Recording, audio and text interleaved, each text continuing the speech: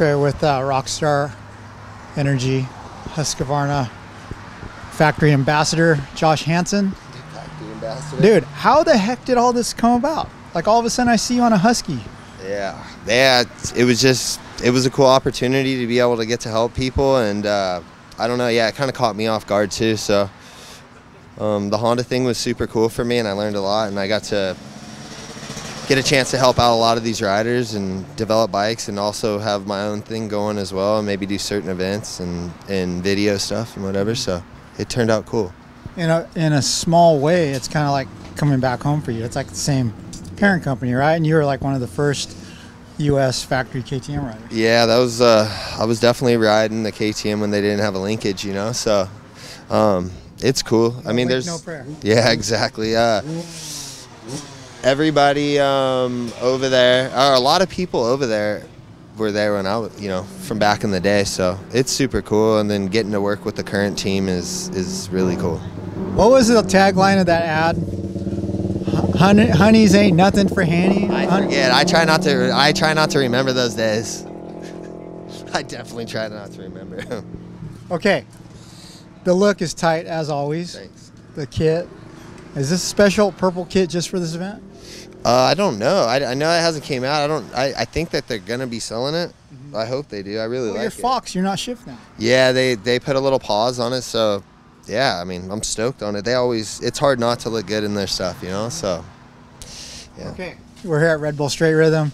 It's uh, back on after a hiatus induced by uh, the COVID 19 scamdemic. Yeah. And uh, we're back at the beach, of all places. What do you think about the new location? And is, is the is the offshore breeze going to affect anything?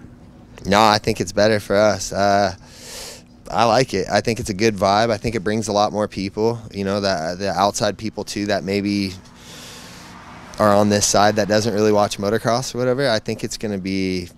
I think this is the best. Yeah, I think there's going to be a lot of people showing up for a day at the beach, and they're like, Yeah. "Whoa, dirt bikes!" and they're going to watch. Yeah, exactly. I'm I'm stoked to be a part of it. Okay, uh, I don't know how many Red Bull Straight Rhythms you've done, but you're certainly no rookie to it. Yeah. Uh, it suits you, man. The the rhythms being smooth.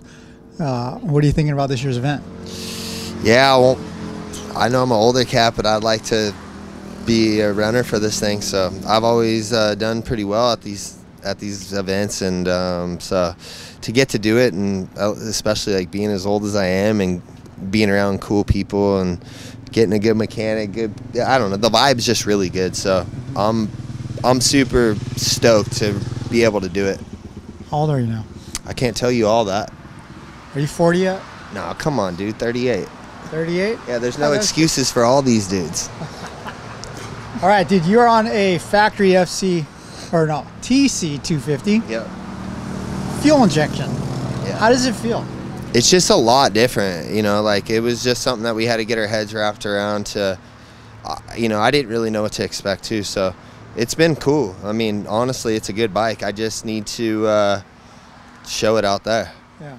I mean, there's no retro about the race bike this year. You know, the last Honda you made was an older bike you built Yeah. up.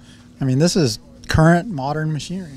yeah it's it's definitely a lot different i never you know to think that maybe two strokes could go to the efi is is something so it's been a cool learning experience through the whole thing you know uh, i've learned a lot just during the weeks and and to get to preview this thing is is pretty badass Good luck, number 100. thanks i appreciate it Honeys ain't nothing for Hanny. nah nah yeah it is